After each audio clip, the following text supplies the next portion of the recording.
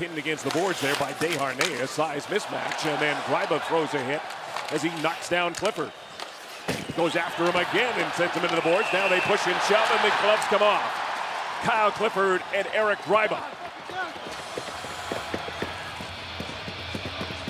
For Kyle Clifford, his 10th fight of the season. For Eric Gryba, this is his third.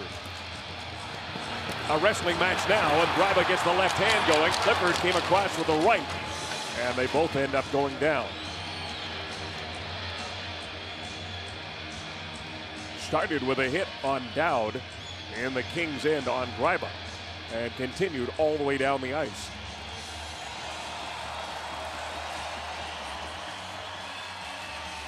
So this is the start of the shift between Eric Gryba and Kyle Clifford. Pinch along the line, boom. That could be called interference.